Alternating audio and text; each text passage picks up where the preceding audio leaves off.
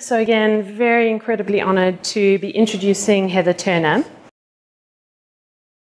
Okay, so I was busy thinking about microphones. I'm not quite sure um, how much was said about, um, about my connections to Forwards. Um, so, this is sort of really the, the hat I'm wearing today.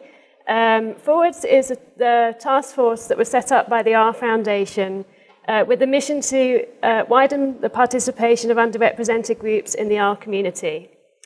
Well, in fact, um, the, the background is really that um, there was a focus on, on widening the participation of women.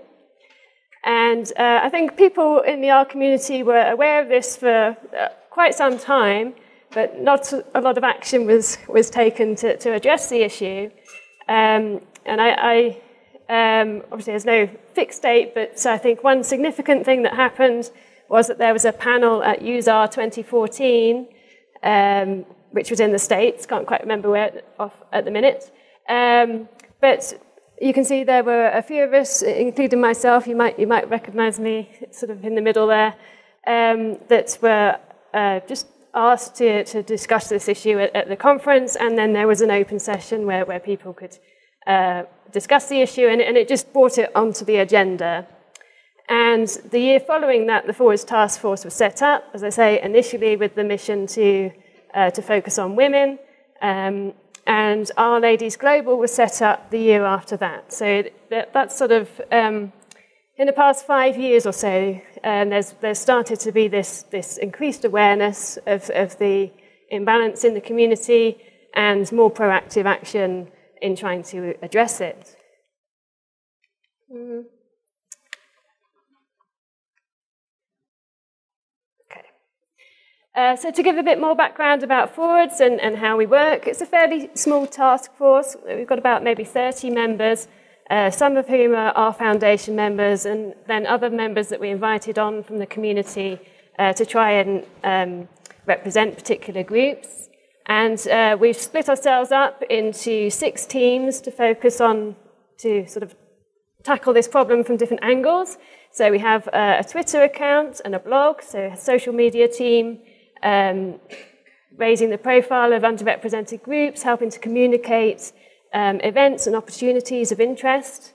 Um, a community team, which is seeking to uh, reach out to, to different parts of the community, for example, linking up um, to uh, particular community groups like R-Ladies or um, Transcode, which is a, a workshop uh, conference um, focusing on uh, issues in the transgender community and, and, different things as they pop up, and also connecting to other programming committees like Julia and Python, uh, seeing what they're doing and what we can learn from each other. The conferences team, which has really been focused on the R Foundation endorsed conferences, um, in particular the useR! conference, and there's been a lot of change in recent years. For example, the introduction of diversity scholarships, um, facilities for parents, um, uh, special events for newcomers, a whole different range of initiatives that have been introduced to try and make the conference more accessible, more welcoming to everybody. Um, the On-ramps team, um, the idea there is that we're trying to help people move from users to developers to get more involved in contributing to the R project itself or to CRAN packages. Um, surveys team has done a little bit of work, um, mainly on uh, surveying participants that use R and seeing how the demographics have changed over the years. Um, and the teaching team, uh, among other things, has um, develop the package development workshop materials that I was using yesterday um, at, at, the workshop. So that's a little bit about Forwards, um, but I certainly don't want to give the impression that the Forwards is, is the only um, organisation in, in the game and the, and the, only people that have been making any difference. That, that's far from the truth. Um, there's lots of things that have been going on in recent years, and I'm only naming a few here. So, first of all, thinking about initiatives in the wider community, there have been several conferences and workshops that have sprung up in recent years, um, trying to um, uh, cater and interest particular uh, groups uh, in the tech community, in the data science community. Um, so, I mentioned here Women in Data Science, which a, has a, a main conference at Stanford University in the US, but then it has lots and lots of satellite conferences around the world um, where people can, can meet locally and, and, perhaps stream some of the talks and then combine that with local content. So that's been a, a really great way to reach women uh, globally. Uh, Black in AI, a, a group that um, started a few years ago and had workshops at the NeurIPS conference, which you might have heard of, which is a, a very large conference that focuses on machine learning. And um, it's uh, catering to the black community in general, so it has in, encouraged uh, and enabled people from Africa in particular to go across to the, this big conference, but also, of course, uh, African Amer Americans and other people of colour. Um, then there are various meetups that are particularly targeting uh, specific groups, such as women in machine learning and data science, and we have some people here that are involved in that. Um, and uh, again, Queer in, in, AI, which is again related to uh, NeurIPS and the sort of machine learning community, but works in a slightly different way. It's a bit more of a, a networking group, and they have more social events rather than sort of technical workshops. Um, I think uh, the Carpentries has, has, had quite a big influence because they're focused on making data science techniques accessible to everybody. And as part of that, they have, uh, you know, they're very conscious of equity and inclusion, and they were working on a roadmap um, last year to think about, you know, how to do that even better and to, you know, to reach more people um, around the world. And I know there's been a lot of work again um, in Africa, and probably other people here can, can speak about that, that better than me. But uh, again, I think that's one of the parallel things that's been going on and making a difference in the community. Um, NumFocus, uh, which are an organization that, that supports a lot of um, open source software development um, and supports lots of uh, meetups and, and, conferences, like, for example, PyData. Um, they have their own diversity and inclusion working group, and they had, for example, a very um, productive unconference a year or so ago that, that produced some very useful materials for event organizers and things like that. So I think across, across the community, we, we've been working on this issue, and in the R community, we, we've benefited from, from this work. Thinking of the R community specifically, other than forwards and R ladies that I've already mentioned, I think rOpenSci has had a big impact on the community. So it's somewhat similar to carpentry, you know, they're, they're sort of promoting reproducible science um, and enabling people to, to learn um, learn the tools that they will need. And one th a couple of things that are particularly interesting about, about that um, organization is, again, rather than having conferences, they've, they've had this unconference model. If, if people don't know what I mean when I say unconf, it's an event where people turn up for a couple of days, and instead of having talks like this, um, then they, they, you know, they actually work together on problems and, and uh, developing software, uh, working on issues and so on and, uh, and new projects that, that people that they come up with to collaborate, collaboratively and they work on teams during those couple of days and try and produce something useful in that couple of days. Um, so it's a very accessible um, format. You know, people can come and they can pair program with more experienced programmers. And um, our Open Science made a particular point of um, encouraging uh, people from underrepresented groups to attend and specifically reaching out to people and saying, why don't you come, you know, come and join us. And they have a community manager who's very good at organizing community calls and, and generally um, making the whole thing very accessible. And I think the Tidyverse Developer Day that sort of, I was surprised when I was creating these slides that it only began last year. It feels like it's a, a fixture in, in, the, in the R ecosystem now. But again, it has a, a very similar model where the, uh, some members of RStudio, um, invite people to come and join them and work on developing the Tidyverse packages. And that's happened uh, before the RStudio Conf, the big conference that RStudio puts on, and also before the useR! conference. Um, and it will be happening again this year. And again, they set, they set aside you know, a bunch of tickets for people from underrepresented groups, so they're making sure that um, people know that they're welcome and that they're encouraged to come and get involved. And finally, the R Consortium. So just to clarify, the R Consortium is a group of companies that uh, support the R project as opposed to the R Foundation, which is a not-for-profit organisation. So the R Consortium have now set up an, their working group, uh, a diversity and inclusion working group to support R Consortium projects and think particularly about things like R user group because R Consortium provides lot of funding for R user groups um, and, uh, and uh, also conferences, smaller conferences. Um, so to think about how they can work towards diversity and inclusion um, in the projects that they fund. So there's a lot, a lot that's going on, and hopefully, um, hopefully that's news. Hopefully, I'm not telling you what you already knew, know. Um, and I'm not going to show a lot of data, um, but I think if you've been in the R community for a while, you will have just noticed that there's been a change. Um, and you know, one particularly obvious thing is, is the growth of R-Ladies.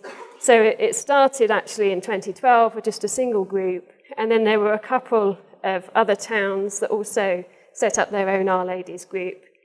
And then back in 2016, R-Ladies Global was formed, and um, the R Consortium funded a project um, that, where the whole idea was to expand R-Ladies around the world, and it was a very ambitious uh, target. I can't remember quite how many uh, groups they said in their original proposal that they wanted to set up, but I'm sure it was nothing like 188 uh, that, is, that is where it is today. So it's, it's seen really amazing great growth.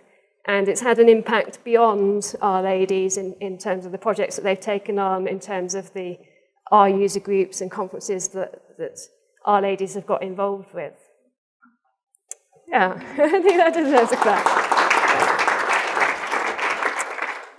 And we can also see how that, how that works around, around the globe, or maybe you can see. So uh, the biggest group is in North America, followed by Europe, followed by South America. There's been a big growth in, in Latin America. And then we do have a bit of representation in Africa and, and a few groups in Asia. So in terms of um, the sort of geographical spread, it's sort of fairly uh, similar to, um, you know, where there's been greater support for the R community historically, in other words, in Europe and the US. But it's encouraging to see that, um, uh, you know, there is the potential there as in Latin America, to, to really spread this um, in uh, what I would call underserved regions. So, what are our current challenges? This is trying to give you an overview of what's been happening in the past few years. And I would say our, um, our current challenges in terms of the user community are to think of outreach beyond white women. So, just as we've seen in that last pie chart, of course, not everybody in the US and Europe is white, but you can imagine that uh, the communities are largely white. If you've been there, you, you will know. Um, so, uh, so we do have this challenge of, of sort of going beyond the, the, white. I mean, it's not too surprising that if you start with a group that's mostly white and male, then the first beneficiaries are going to be the, the white women. So we need to try and push a bit beyond that. Um, and in terms of the developing community, it's still the, the challenge of uh, underrepresented groups in general, in, including white women. We still haven't made um, great inroads in terms of the developer community, and by that I mean people that are actually contributing to R itself, or CRAN packages, bioconductor packages, and so on. So that's still a big challenge. And I'm going to try and talk about both. Um, you'll have to sort of wave if I'm going over time. See how far we get. Um, so starting with the user community, and um, I'm going to focus on particular aspects. You know, so there's, there's many underrepresented groups that we could think about, um, but these are three um, that Forwards have been particularly working on and trying to uh, help um, in recent months, and we're sort of focusing on this year. So first is um, people in underserved regions, and by that I mean geographical regions, countries um, where, that don't have the same benefits as, as we might have in, in Europe and the US, where we have a lot of conferences, a lot of meetups, a lot of experts at the universities and in, uh, um, you know, in companies. So we, we're, you know, we have a lot on our doorstep uh, that other people don't, don't have the benefit from. Um, so there's sort of a couple of things I'd like to mention um, that, that we're working on here. So the first is um, the Use conference. Um, started in Europe, and then after a while it started alternating between Europe and the US. And then there was one conference in, in Australia. So, so far it's, it's been, you know, in these, in these sort of well-supported regions. Um, and we're trying to move to a model where we have one main conference and then we have some regional hubs. Um, and we're piloting in Munich this year, which is not an underserved region. Um, but uh, it was because it was, you know, the whole plan was fairly last minute.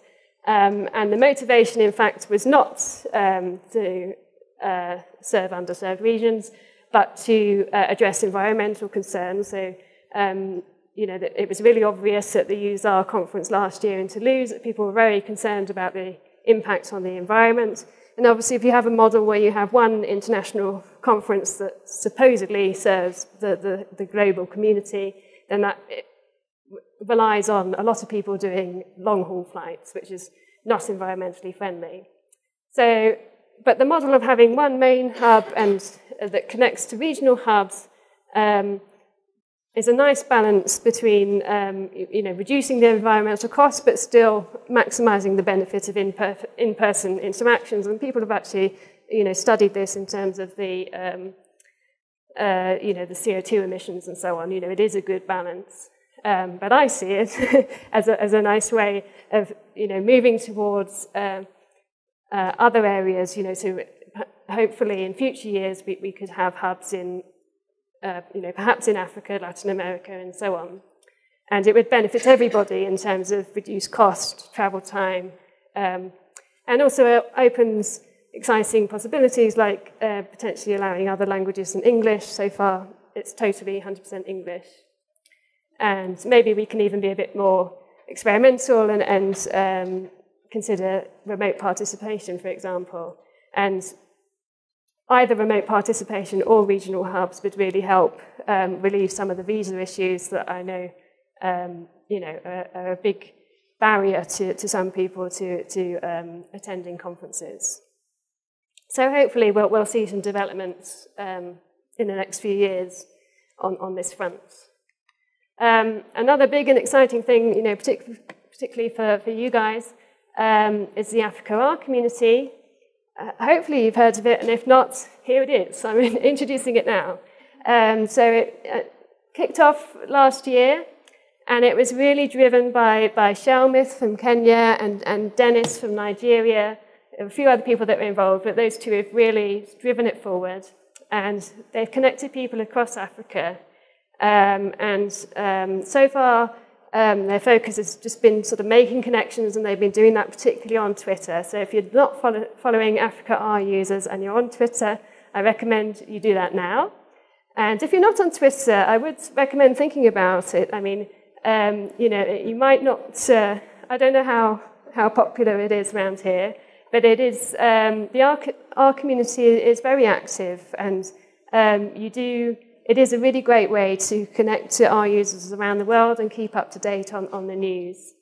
Anyhow, back to Africa R. Um, at the, just a month or so ago, they established an expanded leadership team. So they now have much represent, better representation across Africa. So as you can see, uh, the, the pictures here, got represent, representatives from Egypt, Senegal, Ivory Coast, Nigeria, Kenya, Uganda, and South Africa, to Vivash. Vivash, would you stand up?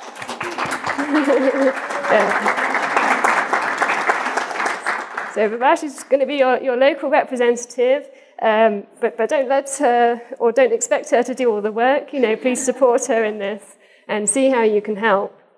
Um, I was hoping, this, this HEX logo, I was hoping to bring some stickers to satRday, and unfortunately they weren't quite printed in time, but hopefully they will be making their way to the community soon so that you can start to uh, you know, uh, decorate your laptop and show your support. Um, so what have Africa been doing? As I say, they've been doing a lot on Twitter, but they've also helped to establish various new R user groups. Uh, so, so one that's started recently is the one in Eswatini, and we've got Emmanuel here who's been leading that group. Give a wave, yeah. and um, We've had two satRdays, um, ah, with uh, Uganda, I think, and Abidjan. Um, so, uh, as well as, of course, the, the, satRdays that are well established in, in, in South Africa. uh, uh, showing how, how to do it uh, for several years. And uh, so their plans for 2020 are to really sort of establish, you know, what Africa R is um, by writing their, mission statement, code of conduct, and sort of setting those government documents down. They'd like to have a rotating curated Twitter account.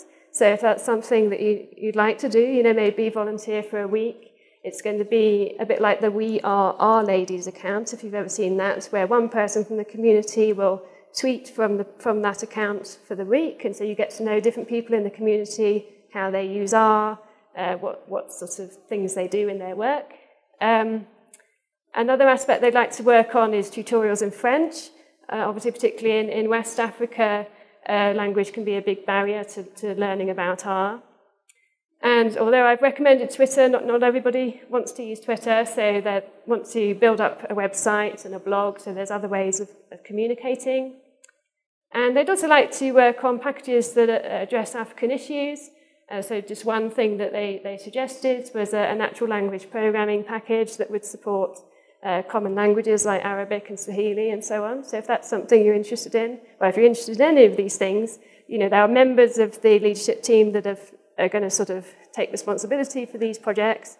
And so, you know, they, they would be able to direct you on, on how to help. So I do get involved. Uh, I've given you seven way, several ways already. Some other things that you can do um, that are really useful are to share your contacts. So I think, uh, you know, part of the uh, various things have been tried in Africa before. Maybe you're aware of things that have started and sort of fizzled out. And the whole idea of this is, is to try and be stronger together. Um, so if we can share the contacts we have in different countries, um, then that helps uh, organisers identify potential speakers, hosts for meetups, workshops, and so on. Also consider um, reusing or even creating new talks and workshops that you could give to local groups when you're travelling around, uh, or offer to promote, promote, present remotely. So some people are, you know, are quite isolated and, and they don't have a lot of visitors uh, giving great talks and workshops. And um, you know, if you've got that little bit more experience, they'd be very grateful to, to hear about you and your work. So maybe think about using your, your satRday talk if you, if you gave or are giving a, a talk today. And as I say, help, in, help join in with their plans. So I spent quite a lot of time on that, but obviously that's because it's, it's very relevant to, to this group. Um, and a couple of other things that I wanted to talk about um, is uh, minority ethnic and racial groups. Um, so if you're a member of a minority or ethnic racial group, um, then you know you can feel quite isolated and uh, um, well, I mean, life can be hard as you, as you know in general, and in the tech community it can be even harder because often the tech and the data science community isn't even representative of the community around it, and so people can be even more isolated. And um, this is something that uh, uh, was felt by um, Danielle Small Perkins, who is an African American living in the US. And she recently went to the R Studio Conf, just whenever it was in January. And she posted this tweet Dear Danielle, remember these incredibly brilliant, talented, and kind women data scientists whenever you feel like the only one on a team or in a space. Thanks to RStudio Conf for bringing us together. Hashtag R-Ladies. There's a couple of nice pictures of some people that she met on the conference. And it's just, uh, you know, um, an indicator of um, how encouraging it to, can be to go and, and, meet people, maybe not from exactly the same um, ethnicity as yourself, but other people who are, you know, um, are, are, in the same boat. You know, they're the same one in their R user group or in their company, and you know, you, you can be, you can share experience and empathise with each other. And it's uh, a bit like R-Ladies supporting each other. It, it, it just it just uh, helps to have a space where you can feel comfortable. And inspired by that, Danielle has got together with Dorris Scott, who is also a member of the Forwards Task Force, and they set up a new community called MiR, Minorities in R. And uh, they, it's, it's, very recent, and they just posted um, on Medium last weekend, um, setting out some ideas for what they could do as part of this community. Um, so some are sort of similar to, to what other communities do, such as the abstract review. That's something that R-Ladies does uh, do for each other. um, and so they think that's a good idea. They can they can borrow for this new community. Uh, similarly, have a, a, Slack for minority um, users, and uh, where they can network together and share opportunities. Um, social media and blog posts to highlights. um, minority users and what they're doing, so so people know about their work and. Um, uh, and similarly, uh, set up a directory where people can just join just to show that they, they want to be part of this community or particularly sort of advertise that they would like to be invited as speakers or that they are um, certified RStudio trainers so that you can, um, you know, you can make use of their skills and, and, and include them. And also perhaps uh, my R Dev Days, um, so encouraging people from minority ethnic and racial groups to make contributions to the R open source ecosystem. So there's some of the things that they'd like to do. I don't know how many people have signed up. I don't know what the latest news is. It's, it's a very new group. Um, but, um, you know, it, it's there you, um, for us to support. Um, so do let people know if you think this would be interesting to them, um, or if, of course, join yourself if you think this applies to you and you, you can really see the benefit to yourself. Um, they also welcome people um, to join as, as an ally. So if this is something that you'd like to support and uh, you know, give a bit of your time to, then, then you can also welcome to join the, the Slack, and I give the link here. Um, at the moment, they don't have their own Twitter account, so you, you should follow Dorris or Danielle on, on Twitter to find out the latest. Um, another thing that we're working on in Forwards is, is uh, better support for the disabled and deaf community.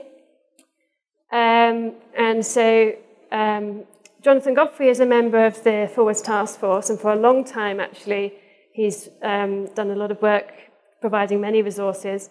He, he's a blind user himself. He's a statistics lecturer in New Zealand. And he's written uh, an e-book that's, um, and it has two versions, one for regular users and one for blind users. And for the blind users, just helping them uh, get set up with R and how, how they can use it with screen readers and so on. He also maintains a, a mailing list and has written a package to provide extra support, uh, for example, um, to give text descriptions of graphics so that um, you know uh, blind users can um, make, make the most of R. And, and, also for people that aren't blind, um, he's written some help on writing accessible Markdown documents, so how you can um, you know, what you can do to make, make your documents accessible to the widest audience possible. Um, another person that recently joined Forwards, another blind user, Liz Hare, um, has been leading the development of uh, best practices for events, and this is not just thinking about blind users now, but disabled and deaf uh, in general.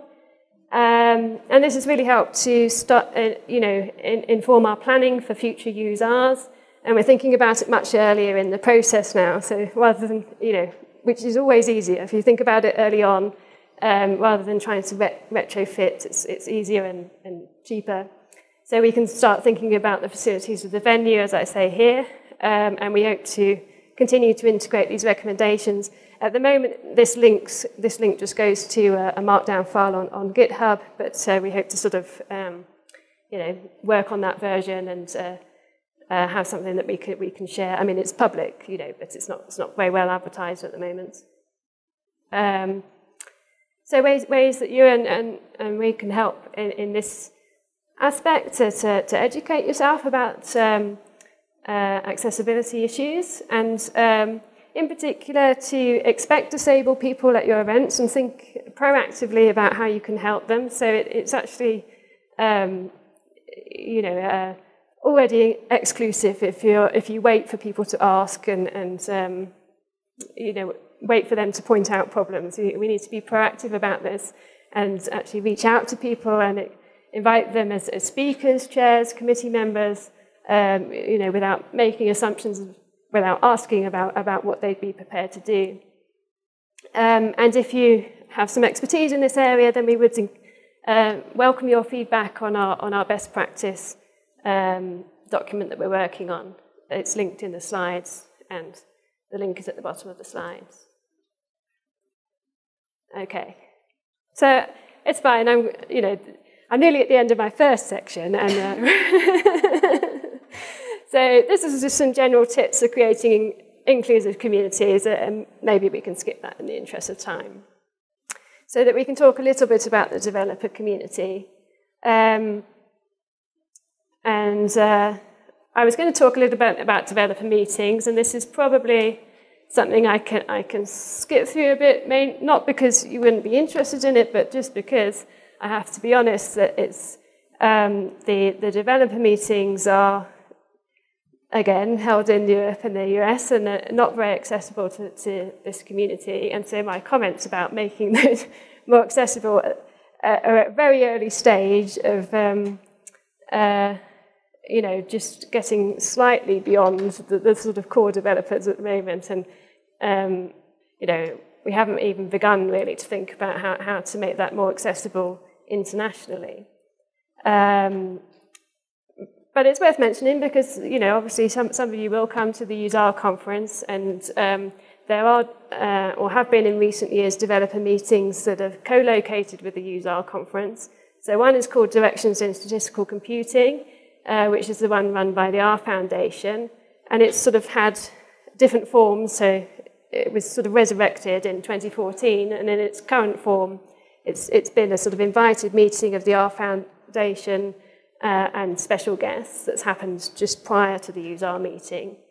Um, and then there's been another meeting called the R Implementation, Optimization and Tooling Workshop, which is supported by the R Consortium, and that's been parallel to useR.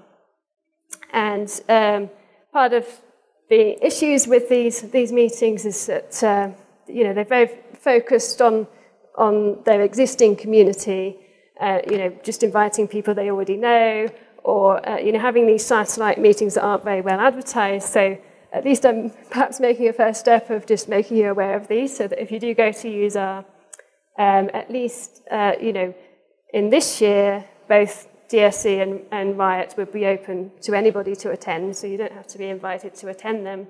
So do, um, and hopefully um, RIOT, which is the one that runs in parallel will, with useR, will at least be advertised on the useR website so that you can find out about it um, and um, you know, look out for those sessions uh, and just be aware that some of these side events might be going on, and it's good to sort of dig around the conference website and see what's going on to, to make sure that you don't miss out.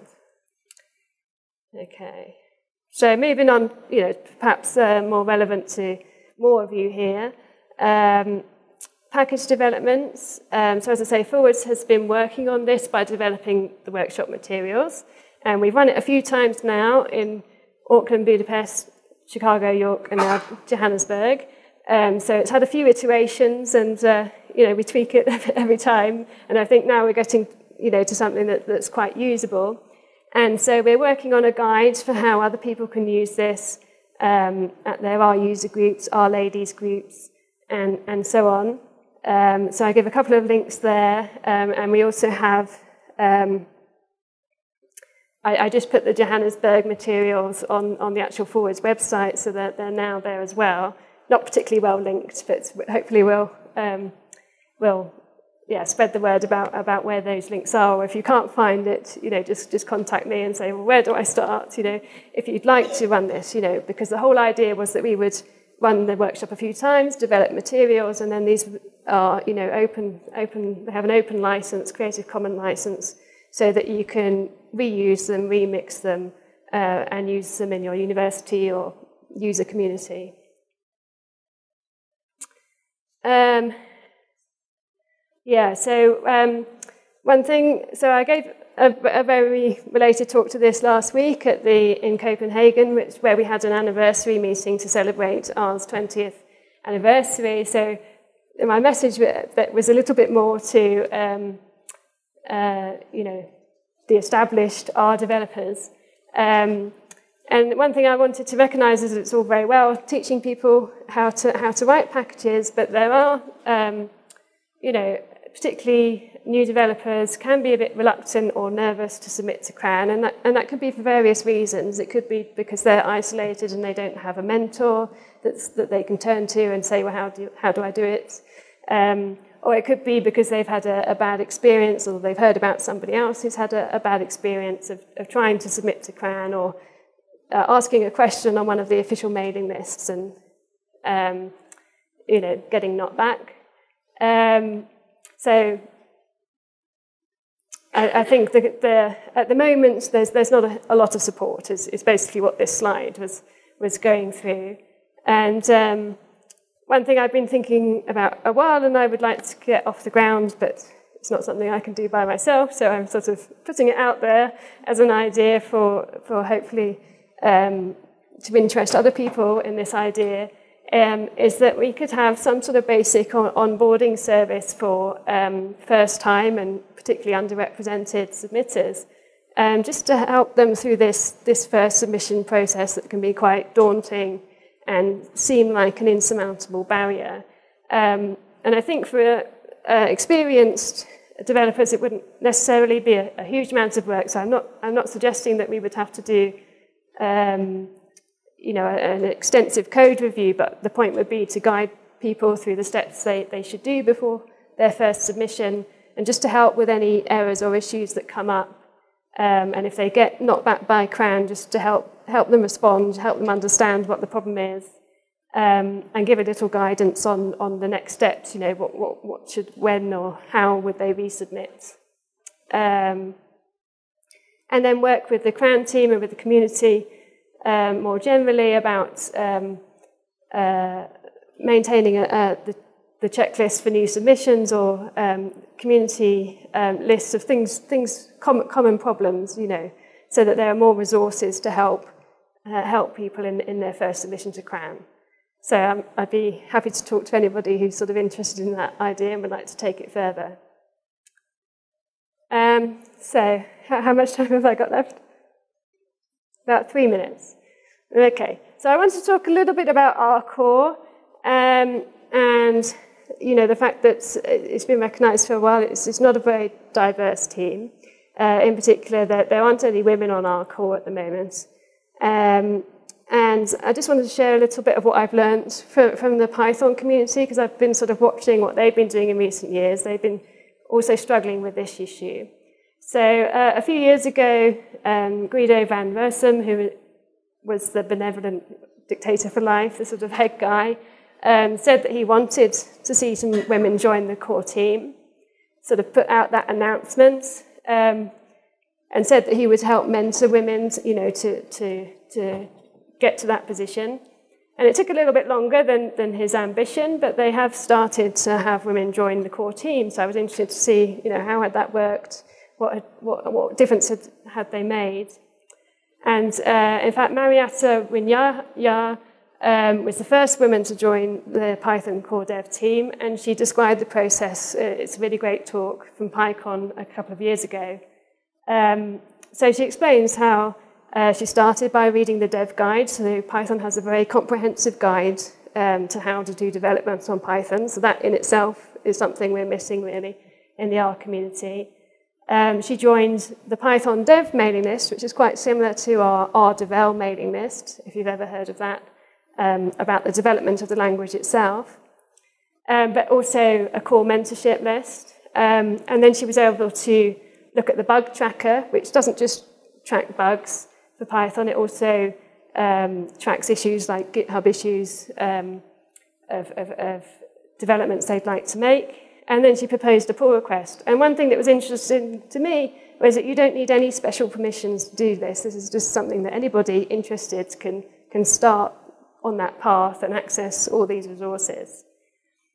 Um, so the extra step of going to uh, being invited to be a core developer then comes from earning trust by doing this more and more, you know, doing those pull requests, reviewing pull requests, interacting on the mailing list, and as well as the mailing list, they've got a couple of other social platforms. Um, and they also have a sort of intermediate role of, um, rather than just working on bugs, um, you have, can become a developer with a capital D, which means that you're able to triage issues on the, on the bug tracker. So they have a sort of, a sort of intermediate uh, role of responsibility that I thought was quite interesting. So I won't go through all the detail here, but if this is something you're interested to sort of look into further about how Python works, I mean, I think it's quite interesting to compare different communities. Uh, so Victor Stinner, who's also on the core team, gave an update at PyCon last year and was talking about mentoring as a scalable solution, not just to uh, the diversity problem, but also to core dev burnout. He, he experienced burnout himself and had to completely withdraw from development for a while. Um, and I think in the R community, as, as was highlighted earlier, you know, um, the core team is getting older, so we also have this issue of succession that is a, a, a problem for the community. So I mentioned a couple of other communities. I think I'm going to have to skip them due to time, but my slides will be available. Um, and just to say that R core are starting to think about this and how they can reach out. And at useR 2020 this year, there, there will be a slot to joining a keynote talk where they sort of say a bit more about what R core does. They are planning a, a session that will be dedicated to R core speakers and have, it, have a tutorial um, led by one of the core team. So they are starting to think about this a bit, and hopefully we can encourage them to think about um, diversity and inclusion as at the same time. So this is my summary, which is good because Gemma's ready to kick me off any minute. Um, uh, just to say that um, you know there's a lot of work going on, and it's really great to see. I think the R community um, is, is, is recognised as being an inclusive community and, and, and doing a lot of work in this area, even though we might not be perfect. And I think Forwards is playing its part here. Um, and there are a lot of ideas and things, um, both outside and inside the, our community of how we can do more uh, in terms of improving the representation of the developer community. Um, but that's sort of going beyond forwards, and we need more help from the, the wider community and active participation of uh, people that are already contributing to R core. Okay.